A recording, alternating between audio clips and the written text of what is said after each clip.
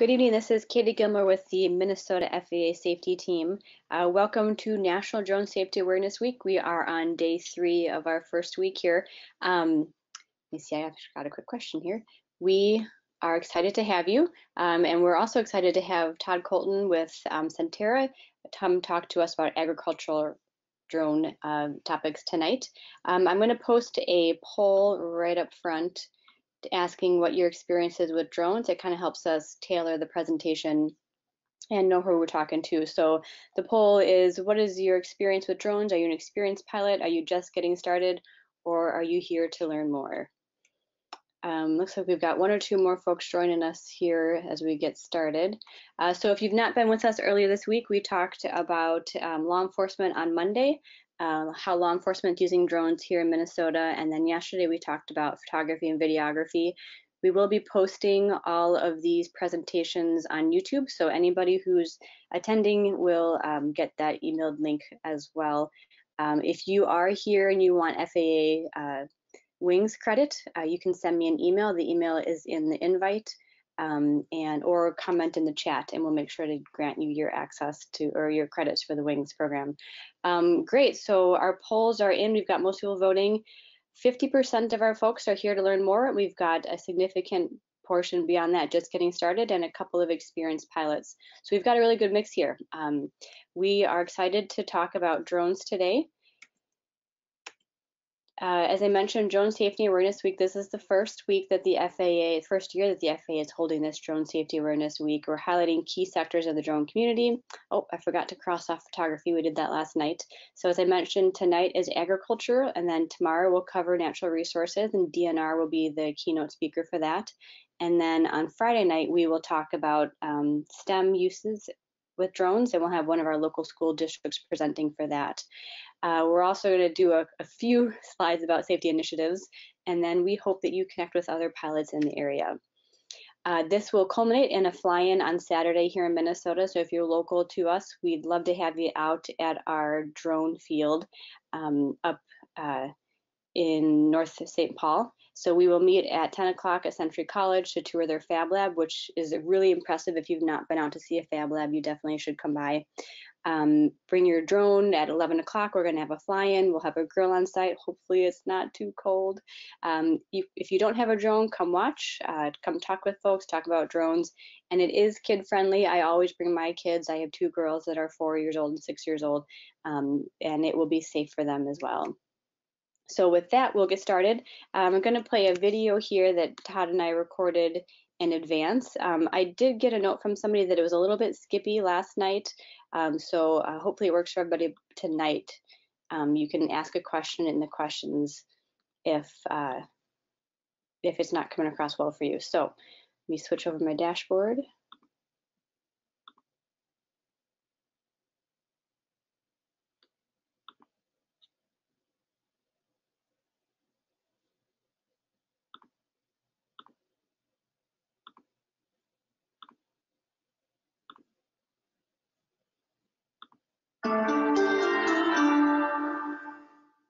Todd Colten. Uh, I'm an aerospace engineer at Sentera.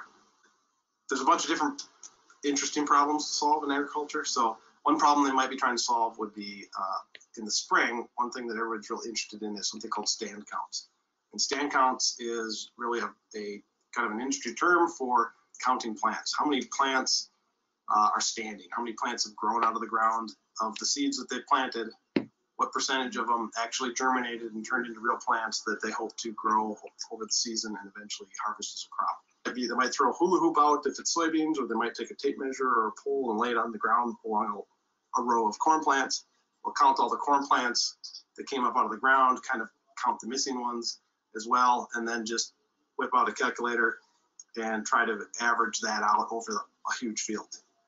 So if they take three or maybe six counts over a 160 acre field, which might be a typical average size field in Minnesota, uh, you know, they're just getting a few small measurements and trying to average that over a big field that might have um, waterways running through it or varying soil types or all sorts of different um, variables at play. With a drone, you can fly that over a field and get hundreds or even thousands of measurements in the same amount of time it would take you to walk out and manually count. A, farmer usually knows their field pretty well. Um, uh, sometimes they don't, but often it might they've been farming it for years. Maybe it's been in their family, um, and so they might know where the low spots are that are typically will get water. But what they may not know is how much water they got this spring uh, or this last rain event that came through. And that rain event might have come through right when the plants were at a critical growing stage where it was really easy for them to drown out and die. So depending on how how well the water drained or how big the pool was, it could be, you know, a fraction of an acre of loss, or it could be several acres of loss, or um, in significant events, it could be enough acreage that got damaged where it's meaningful from a um, insurance claim standpoint. So from a crop insurance, or it might be meaningful from a them having to them either having to or wanting to go back out and replant that area. Um, and it's it's sometimes it's really on the bubble whether they're making that decision to spend the extra time and money to go take action or not. Um, and and it could be important either way whether they they make the right decision at the end of the season for how much yield they they would recoup. The term that's used called NDVI, and that's a fancy term called uh, that stands for um, Normalized Difference Vegetation Index, and that's a a what, what that is is it looks at different wavelengths of light. It specifically looks at near infrared light that the human eye can't see, and it looks at red light. And as that light reflects off of the ground and off of plants, uh, it turns out that you can get a really good indication of general um, plant health. And folks at NASA came up with this general formula using um, infrared satellites that were flying around the Earth and looking at very large areas of land mass, land mass in North America. And they were using it to get broad area statistical information about how well is the crop doing in this region. So satellites are great for doing that on a very large scale, but they're not the best for doing it on a very local scale, individual fields, or even um, within a field, individual areas or, or areas that um, we might want to take take um, action on. There's really small, lightweight cameras that will look at these different wavelengths of light and will be able to do a kind of a, a localized NDVI uh, map on each individual field. And a grower doesn't have to wait for the satellite to come around. They can go out and fly that morning to that day. Uh, it doesn't matter if it's cloudy or not cloudy. Uh, they can fly under the clouds and get that imagery. Um, and they can get their answer same day. The big question is you get this map and it shows you how healthy or unhealthy your, your crop is and where, you know, but so what or then what, right? So there's lots of there's lots of actual use cases and how you would how you would look at this. And and so one example would be um, either uh, they call it the like a 2020 rule where it has to be at least 20 acres of a field or 20% of the field. One or the other has to be satisfied in order to um, move forward. That's not the only type of insurance it is, but that's a common way to do it. So how do you measure that that 20% of the field or 20 acres? Um, if you were to go measure every little spot that got damaged, that would take forever and take way too long to actually add up all that answers. So there's a lot of estimating that happens right now. With uh, drone map, you can do a fly a half hour flight, map the entire field, land, process the imagery into a perfectly geo-registered, accurate, geospatially accurate map, and then using this NDVI or other wavelengths of light, you can tell where the crop was actually damaged and where the crop is still growing healthily. And you can measure all those areas in an automated way using software, or it will automatically tally up all the answers and give you, at the end of it, this is how many acres uh, were actually impacted. And what that does is it, it reduces risk for the insurance company. It also gives the, the farmer or the grower um, a satisfied knowledge that they've actually got an accurate measurement. And both the insurance agent and the farmer are looking at the same piece of paper and the same map and the same data. Um, and it's, it kind of helps everybody. The big, uh, in some ways, the holy grail of uh, of using drones and aerial imaging is to, to help manage um, nitrogen fertilizer and nitrogen application because that's one of the largest dollar value inputs that a grower is going to put into their field. So with nitrogen fertilizer, another aspect to it is obviously the environmental impact that nitrogen fertilizer has in terms of waterways and rivers. And um, you know that's that's well documented that the nitrogen levels are, are rising. There are certain times of the year they'll they'll rise just due to weather and runoff. And so it's in that sense, better managing the nitrogen application is a win-win both for growers and for the environment. So in general, the amount of fertilizer that goes down is, um, you know, the, the, the, way a grower will look at that equation is they want to be sure that they, they're meeting that minimum threshold and applying the uh, at least the right amount um, over their entire field. And, and, and how do you measure that exact minimum threshold?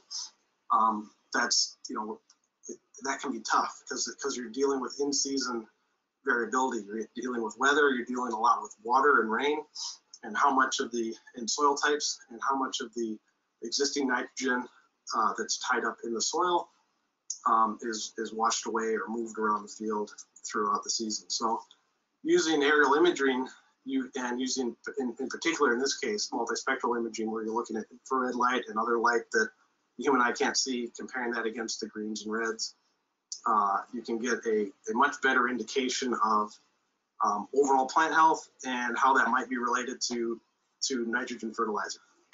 So another really useful um, application of, of NDVI imagery, and especially from drones where it's low altitude and high resolution relative to satellites, would be later in the season when growers are looking at using fungicides and, and applying different types of inputs to help manage uh, crop health. And there's a lot of um, uh, they'll apply it again in test strips, and they'll try different rates or different applications at different parts of the field. Taking that and doing a before and after flight with an NDVI camera or looking at an infrared image of the before and after uh, really gives you a strong indication of the effects of that fungicide treatment. All right, so there's a use case that we're really excited about right now with uh, herbicide management and, and basically spraying for weeds in the field. Uh, so one technology that we've developed and that is becoming very popular is using uh, drone imagery to take a make a map of your entire field and go and identify where the weeds are and where the weeds aren't. And uh, using machine learning, computer vision, and other technologies, in, in, including multispectral imagery, we're able to identify what is rows of corn and what is rows of soybeans compared to what are naturally occurring weeds. We're able to get highly accurate maps of the field, identify each individual weed where it is, locate where it is in the field, and build a map that that is down to, you know, we're talking just a couple inches of accuracy uh, for where the thousands or tens of thousands or hundreds of thousands of weeds are throughout this field we can take that map and build a spray prescription and load that into a precision sprayer. And they have the ability to turn the nozzles on and off depending on where they are in the field. So by doing that, and uh, what we've shown over the last really two seasons we've been doing this, um, is that the we're able to, in depending on the field, but a field where they would have sprayed the entire field with a blanket rate, spent thousands of dollars, many thousands of dollars on herbicide and treatment for that, we're able to build a map that will, um, we average about 70% savings. So 70% less herbicide will be applied. And we've shown in general it's equally effective. So, so this is a really good example of a quadcopter. It's, a, it's called the DJI Phantom 4. It's one of the most popular quadcopters flying out there today. Um, and it's called a quadcopter because it has four propellers and it flies like a helicopter, takes off and lands vertically, and it can stop and hover in the field and it can fly kind of any direction it wants, just like a helicopter can. Um, and it has a nice camera on the front, and companies like Sentera will add additional cameras that ride along on the back and look at um, crop health. So this is a really great way to get into it and get started. They're super easy to use. Um, they, if you take your hands off the control sticks, it just stops and hovers, and you can then take a breather and then decide what you want to do next. Once you start trying to think about cover and map really large areas, you might start thinking about what we call a fixed wing drone or just a normal airplane style drone. And this is a good example of that. This is a, a, a drone that we manufacture here at Sentera called the PHX, specifically designed for aerial mapping and in particular aerial mapping over farm fields. Uh, it's got an electric motor in the front. It's obviously got wings, so it flies like an airplane. And one advantage of an airplane over a helicopter is it's a lot more efficient and typically flies a lot faster. So with this, you can fly and map a much larger field in less time. Um, and once you start thinking about how this will, technology will scale and how it'll become more used more broadly on large farms, this is a better tool for that job. So um, I'd say in the future of agriculture, in particular the future of agricultural drones, we're going to start seeing um, more precision, uh, more precision in the drones and how they fly, but in particular more precision in the imagery they collect and exactly where those images are on the ground and more precision in the maps. That way that that precision can then map to the tractors and where they're driving and that nozzle by nozzle control, uh, spray control that we're talking about, or in some cases it might be planters that are planting different rows at different um, seed rates to kind of optimize the right amount or right density of plants in a certain area. Um, so that's one area where, where it's going. Another area where it's going, and it lines up with the precision thing, is um, actual spray drones and aerial applicators, where they're they're these are in this case they're going to be larger drones that can carry a pretty good payload, and it, might be a, a, tank full of um, herbicide or insecticide uh, or, or different uh, different um, chemical that will be applied to the field. And the amount of chemical that will be applied will be much more precise and kind of a feedback loop of the imagery that we collect and look and, and using different information we get from that imagery, being able to feed that back much more quickly into the action that gets taken in terms of um, whether we're, we're applying inputs or making in-season decisions. We're finding um, really all the time new and better use cases.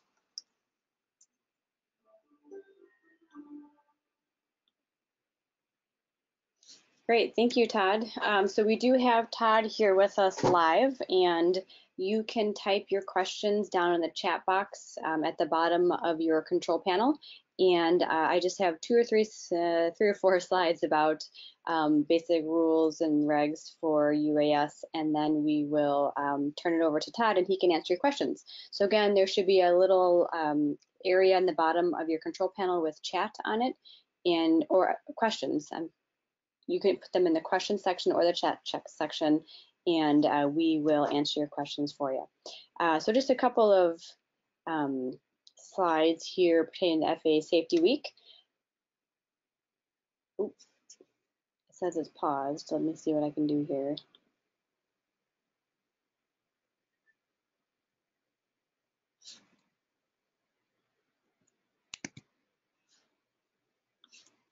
Okay, we'll try it this way tonight. All right, so uh, the first thing, there are three things that you need to be a uh, licensed pilot, certified pilot here. Um, and this applies both to farmers, people taking photo doing photography, any kind of commercial activity with drones. So you'll need your remote pilot certificate. Um, there are a couple of rules um, in terms of getting that. You have to take a test, be 16 years, years old. Um, there's are a lot of great resources online for that. You can uh, ask us questions here uh, or find resources online.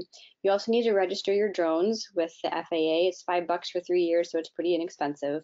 Um, and then you need to write that um, FAA number on the exterior of the aircraft. There are a couple of rules to follow. These are kind of the, the high level um, snapshot of the rules here. Stay below 400 feet.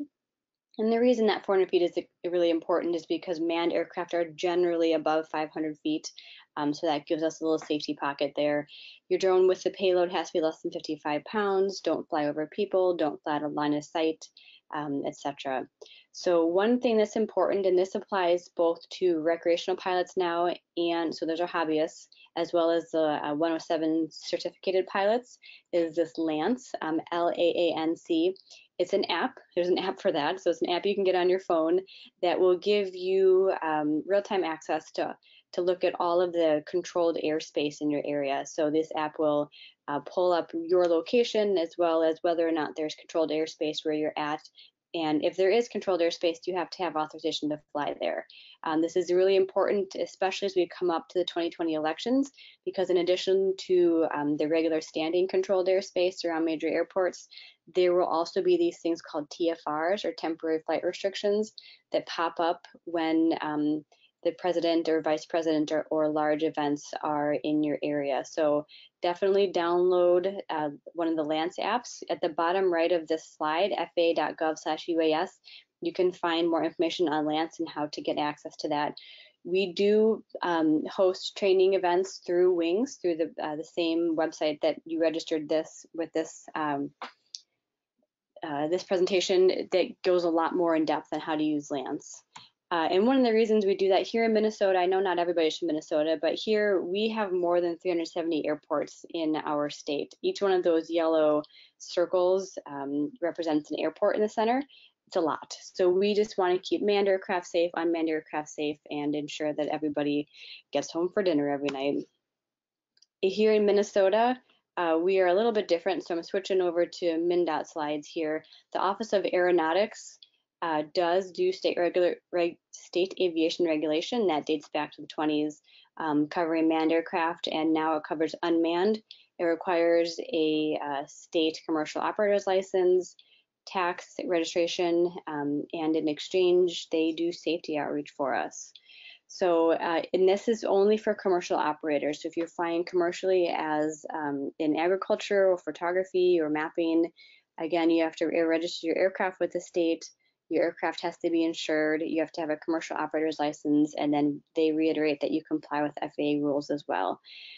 And then another layer of regulations are local regulations. And again, these um, the FAA doesn't enforce these local regulations, so we're just doing this as information. But um, MnDOT does keep a repository of known ordinances. Um, they're not always easy to find. And we don't have everything, so it is the pilot's responsibility, but uh, you'll find a link on MnDOT's site there, dot.state.mn.us slash aero. Um, and in the bottom right, there's a UAS, uh, local UAS ordinances link. All right, so the last thing we want to talk about is uh, if you have not, go find your local flying club. There are a lot of them out there. Some of them are long-standing hobbyist groups like AMA, um, there are new pop-up groups um, that fly first-person view, the little racing drones, if that's your thing. Um, people who fly the DJI quadcopters, like Todd showed in the video, all kinds of different flying clubs. There's a lot of stuff still on Facebook. So uh, if you're a Facebook user, check it out there. Um, you can get more information on rules and regulations from the faa.gov/uas. Uh, this where this web or this webinar and others like it are hosted is at faasafety.gov through the WINGS program. And then we also have the MnDOT Aeronautics uh, link there as well. Um, you always have the local FAA office uh, as a, um, a resource. Uh, and then those UAS helplines are also very useful. I've, I've actually called them and they uh, they do answer. So those are a resource for you as well. So with that, we'll get back to the good stuff. Um, let's get some of your Q&A here. Uh, so we've got a couple of questions. So you can go ahead and keep um, asking the questions in your questions bar or chat, and we will get to you when we can. So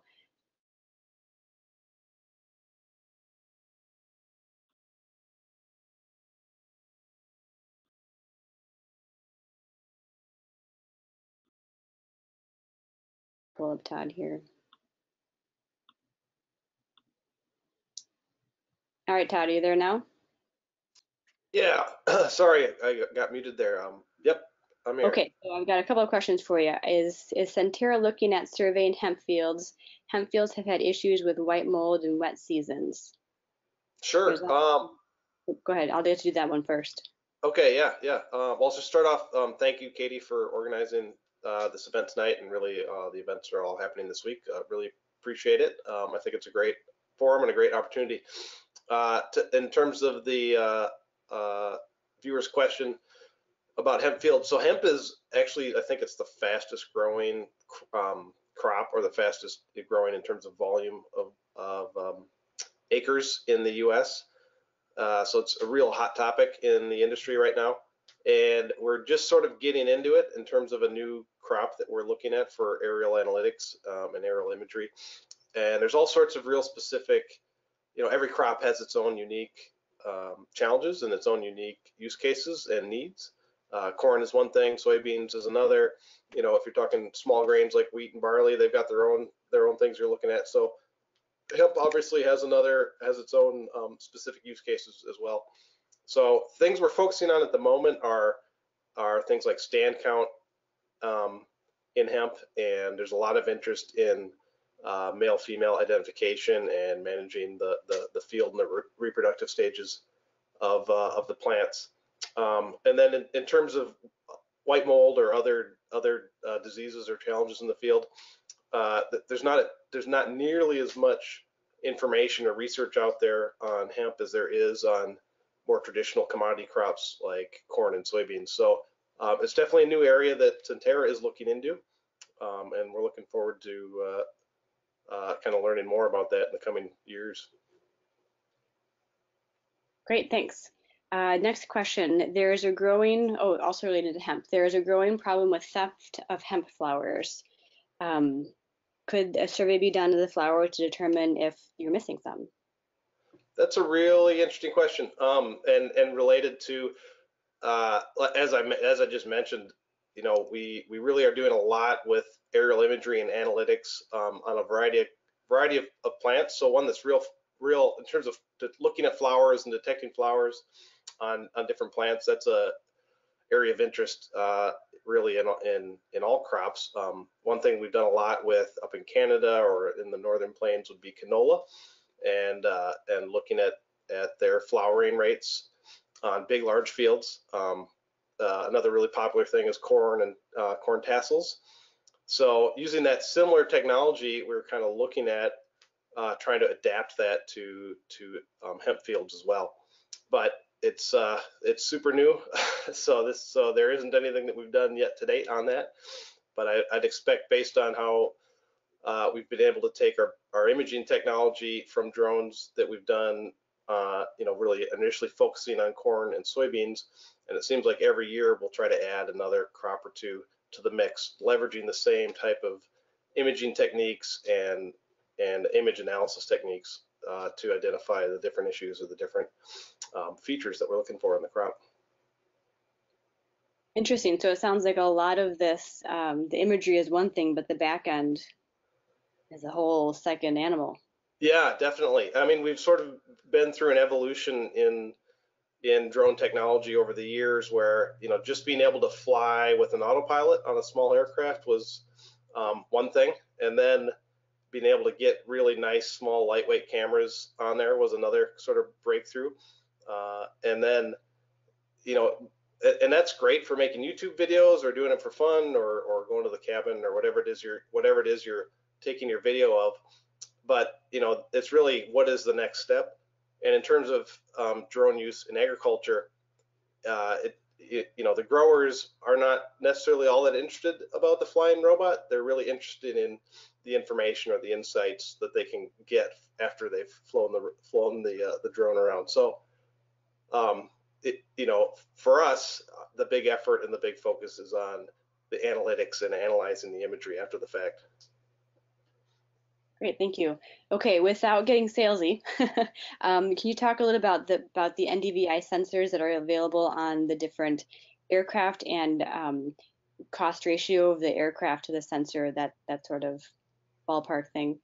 Yeah, it's um, and the, the cost ratio of the sensor to the aircraft is a thing that uh, in the aerospace industry has been, um, you know, uh, as the aerospace industry moves forward, more and more of the money is in the sensors and the payloads on board every aircraft than, than necessarily in the basic airframe itself.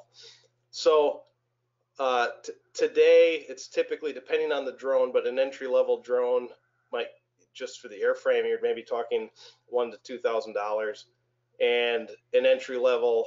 Um, I mean, it, you know, there's a, there's a number of different multispectral and NDVI cameras on the market, and it's a little bit of a you get what you pay for. But there there definitely are real entry level products that are kind of in the $500 range.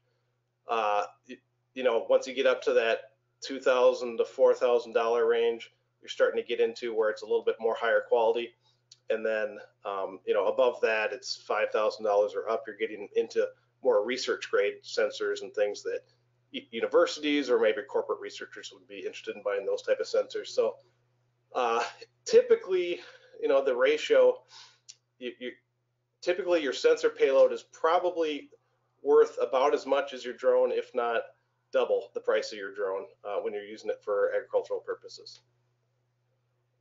Interesting, great. Um, approximately how long does it take to fly a field? And there's a lot of variables in that, but um, what would you look at for your day? Yeah, so it, it, and for sure it depends how big the field and all sorts of uh, what type of imagery you're trying to capture over the field. So, it, you know, typically you're going to spend at least 15, 20 minutes flying over a field um, uh, to get any, to get any sort of uh, decent type of type of information. But if you're talking about a much larger field and you're trying to get highly detailed information, maybe at low altitude where you're really zoomed in, uh, you know, you might spend over an hour sometimes flying that field and gathering the data. So it really, um, it, it, it, really is a it depends answer. Uh, but the average, I would say the goal, uh, if you're out there trying to do this as a business um, and be effective, is it is you're probably you want to be spending less than an hour at each field um, and getting the the right kind of information you can before moving on to the next one. Great. Good Good here. Um, we're going to switch gears uh, briefly and talk about hospitals, um, and then we'll come back to these questions. This is a tangential question. There's a question about um, almost all hospitals have heliports, and I'll take this one, Todd. Can you discuss issues with drones and heliports? Um, yeah, so heliports are definitely below 400 feet, and that's generally where drones are. Um, they are a you know a known item of conflict. We see helicopters um, often can be below that um, 400 feet. If it's mosquito control, spraying for mosquitoes, if it's um, a, heli- a medevac picking up um, a car accident victim or transiting between hospitals. Um, there are a lot of hospital or heliports in rural hospitals because it's a good, fast way to get there. Um, so that is something that drone pilots really need to be aware of. And we try to do a lot of outreach with respect to heliports and helicopters because they are an area of concern. Um, so when you're when you're flying your drone, um, a lot of the uh, LAANC applications I talked about on your smartphone will let you know. It will have an icon or a bubble around a hospital with a heliport. That is one way to help you know that there is something that could potentially be there. We highly encourage that you use a visual observer, especially if you're flying um, more than just you know right overhead um, at 100 feet.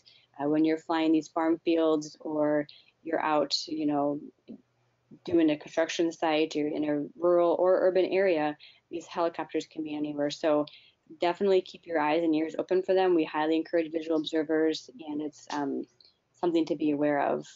That's another point is the agricultural sprayers. So you don't typically expect an airplane at 100 feet, um, but if you've not seen an ag sprayer, you're missing out because those guys fly low and um, get into these uh, rural fields. We see them a lot. When I do a lot of road construction work, and we see them out all the time out in the rural areas.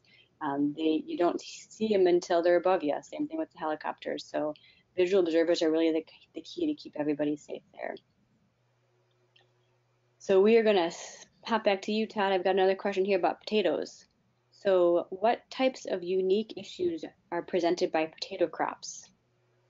Wow, yeah, that's that's interesting. So um, uh, potatoes is a real real popular crop up in you know northern Minnesota, North Dakota, Idaho, obviously Montana, different areas. Um, and uh, potatoes were in, in some ways a surprise to us in that we initially developed a lot of imaging uh, and analytics techniques for corn and soybeans, and it's and potatoes uh, being a being a row crop and having real similar um, uh, you know, early emergence and, and, and growth patterns.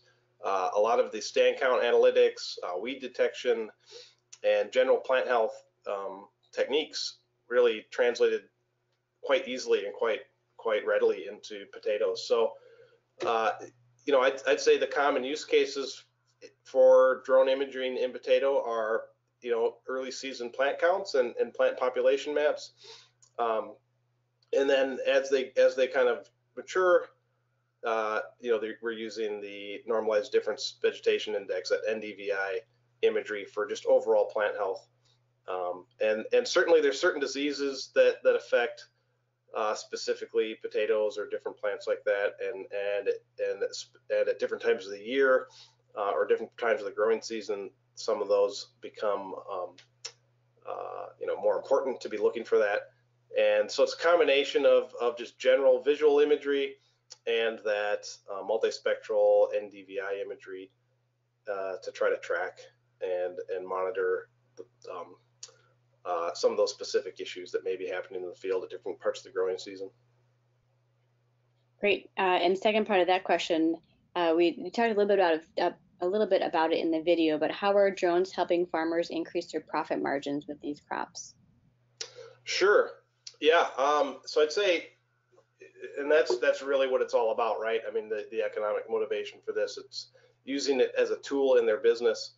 So um, the you know the stand count issue, I've kind of mentioned that several times, but that that more and more growers are looking to that as a real early indication of how well is their field doing. You know, how, how many plants, how many seeds germinated, and how many plants came up out of the ground. Or when the plants are really small and you're still in the spring, and you're going to have weather events, whether it's cold weather or wet weather. Um, you know, are those are those plants going to survive those early stages?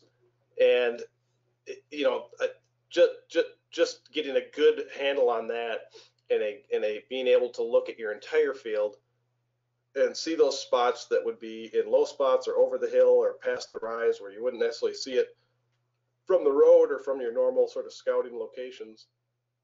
Um, you know, that can be mean real dollars and cents, right?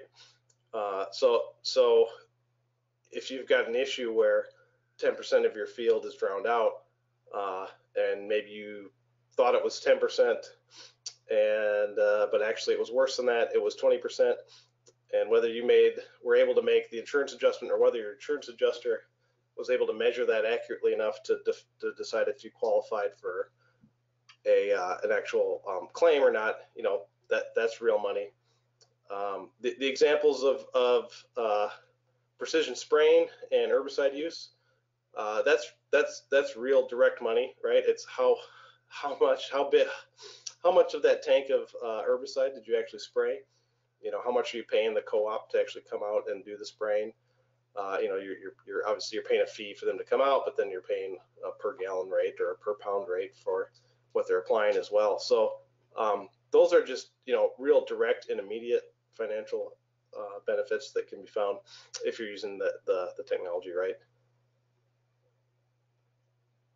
Great. Sounds great. Uh, so that got us through our list of questions. If anybody else has a question, type it in now. Um, and I, you know, this the agriculture. I grew up in Chicago. I didn't know there were still farms growing up, and now I live here in Minnesota, and I've learned a lot. And I think it's just a really good indication of how much drones touch people. The fact that we've got an aerospace engineer who can now tell you about potatoes. You know, it's it's a really interesting um, collision between all kinds of different industries and um, it's it's just fascinating to see all of this develop. So uh, thank you, Todd, for spending your, your, your, Wednesday night with us. I appreciate your time. Uh, this was great information. Uh, and I think we've exhausted our questions. So thank you everybody for tuning in. I really appreciate it. Uh, we will be, we've got one more question, so I'll get to you in just a second. Um, we will be back again tomorrow night to talk with the Department of Natural Resources about what they're doing with drones. Um, and uh, Again, if you want credit for this uh, via Wings, uh, just let me know in the comments. I've got yours, Rebecca, and then we will make sure you've got it. So one last question here. Um, oh, Robert's making a comment about he's considered building long-term persistence drones for security duty. Yeah, there, there again, there's so many uses for drones. Drones for good, right? Is the hashtag. We love um, talking about these different uses, and we encourage you to go out in your community and talk about how drones are being used for you as well. Thank you very much, everybody. I appreciate your time and you have a wonderful evening. Hopefully we'll see you back tomorrow night.